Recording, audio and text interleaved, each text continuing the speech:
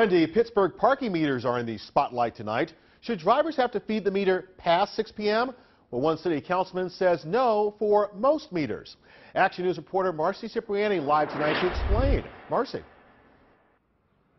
Andrew, all city meters are set to charge you for an additional four hours beginning next month, but one councilman is trying to stop that. So while you will still have to feed the meters, what's up for debate is just for how long. It is a sound we're used to, a duty city residents, workers, or shoppers have come to expect. Paying for parking in Pittsburgh is simply understood. This way, you know, people always have a spot to park. You know, you hate to, or people would just be staying here for 24 hours. Most agree the meters have their purpose for drivers, businesses, and the city budget. But city leaders are trying to take it further, charging you by the hour until 10 p.m. rather than 6.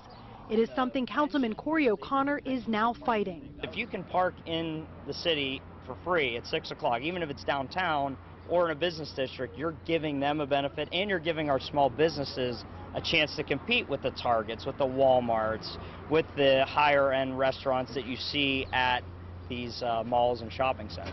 Connor introduced a bill today that would stop the extended hours on most city streets.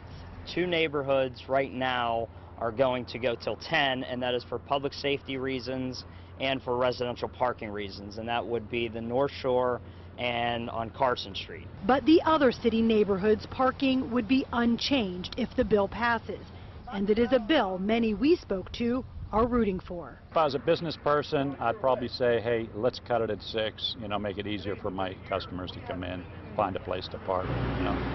I think the city has enough money, right? A preliminary vote on this issue is set for Wednesday, and then the final vote is scheduled for next week.